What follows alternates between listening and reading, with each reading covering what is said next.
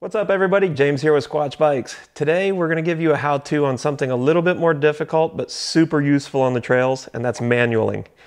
Being that it's a little bit more difficult, Pat was actually pretty happy to pass this off on to Will. Will actually works at Squatch Bikes, he's a great rider, and we were pretty surprised at how good he is at manualing and explaining it. So without any more, let's roll the intro. Welcome to Squatch Bikes.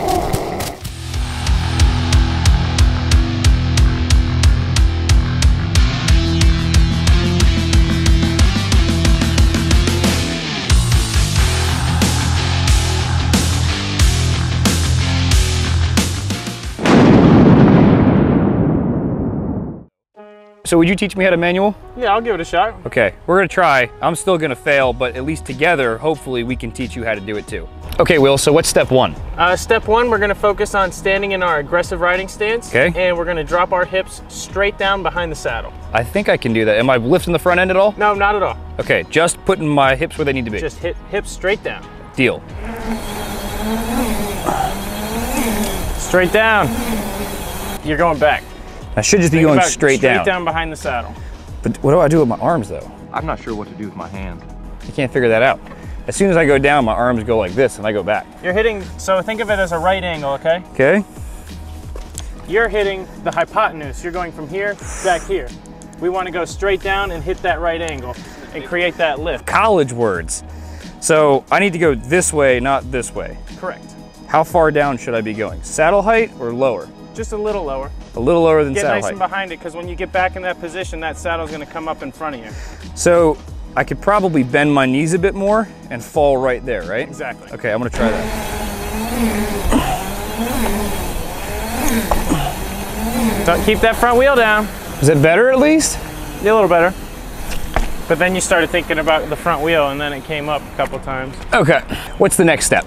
So step two is we're gonna go straight down and then we're gonna hit that straight back motion. So rather than going back at an angle, you go straight down, then straight back. Yep, Are you pushing with your legs forward? exactly. Okay. Once we hit that straight down, we're gonna, that's what's causing us to go straight back. We push with our legs forward and that bike is gonna come up in front of us. So it's just like when you wheelie, you put the back wheel underneath you rather than lift the front end? Exactly, exactly. And we're creating that lift by pushing our legs forward and pushing our, our pelvis straight back. Okay, let's see it. Um, it's at this point that your that front wheel is going to start to come off the ground a couple inches or so. we want the front end to come up just a little bit. Exactly. Once you start driving those hips straight back, the front wheel can't help but just come off. The So I want to come up and then put it back down, not trying to stay there Yeah, right we're not right? trying to stay there right now. Okay. Down, back, front wheel comes up a little bit, and I'm still holding with my shoulders pretty tight, right? Exactly. Okay. I'll give it a go. There you go. So as soon as I push my hips back, really I'm pushing forward with my feet, the bike really just wants to come up. Exactly. It started to come too fast. It went, Yep. woo. It'll catch you off guard, but you're you're really pushing that.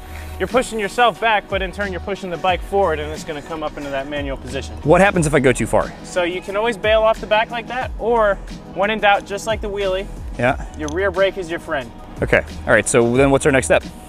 Um, getting it up there and holding it there. Getting it up there and holding it there. Well, I did a few manuals. You did. You kind of held it, so it looks hard. I guess this is the the worst part. Is that you just have to try it a whole bunch of times. Practice makes perfect. Well, I'm sorry that I'm not very good at it. You'll get there. Okay, he's got faith in me, but I really don't. So I'll give it 110%. That's not a manual. I'm doing it right. No. Yay!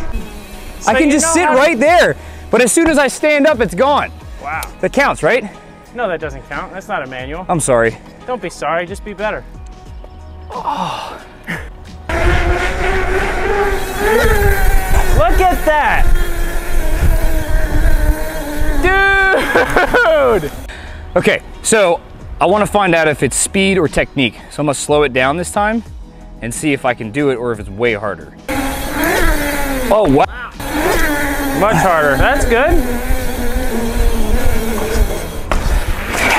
Will, thank you very much for helping me. I've been No wanting problem, that for man. years. Uh, now go out there and give it a try. So let's talk about how to apply the manual to the trail. A really good way to use the manual as a skill set is to avoid larger holes with your front wheel, like what we have right in front of us, kind of a muddy, washed out gully. I'm gonna show you guys that you can pull right before, kind of just let the back wheel hit it and then settle down on the other side safely rather than taking all that impact with the front wheel. Here we have this quiet, clean, serene, small little stream waiting to ruin your day and get your bike and your face all wet.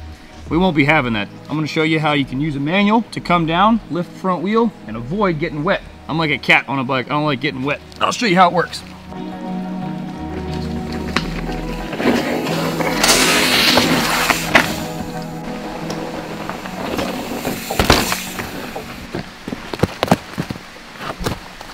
That works too.